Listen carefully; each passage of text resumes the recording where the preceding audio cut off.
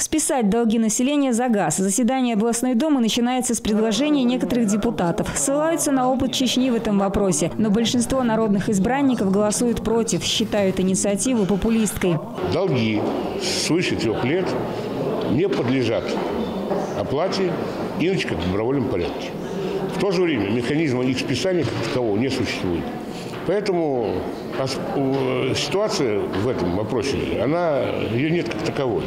То есть никто не вправе заставить гражданина оплачивать потребление, если спустя три года после выставления счета он его не оплатил, и те, кто должен был получить платежи, бездействовали. Обсудили депутаты и ситуацию с вывозом мусора в регионе. Некоторые посчитали, что тарифы и нормативы за услугу завышены. Говорят, жильцы жалуются, что им приходят платежки с некорректными цифрами. Должен сказать, что профильные комитеты, как и по вопросам рекоператора на территории области, так и по вопросу э, организации мероприятий по вывозу мусора, он остается на контроле, и профильные э, комитеты будут продолжать рассматривать данные вопросы. Всего депутаты рассмотрели порядка 30 вопросов вопросов одобрили проект закона о региональном материнском капитале. Он выплачивается из областного бюджета уже 4 года и составляет сейчас почти 103 тысячи рублей.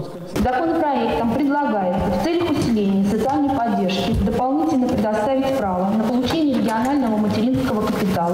области, родившим или усыновившим третьего и последующего ребенка в 2017 году. Еще одно важное решение касается очистки Волги. Федеральная субсидия слишком мала. Всего 92 миллиона рублей. Необходимы, по словам специалистов, миллиарды. Парламентарии решили обратиться к федеральному правительству с просьбой пересмотреть финансирование на очистку реки. Оксана Лючева, Алексей Фенин, Саратов, 24.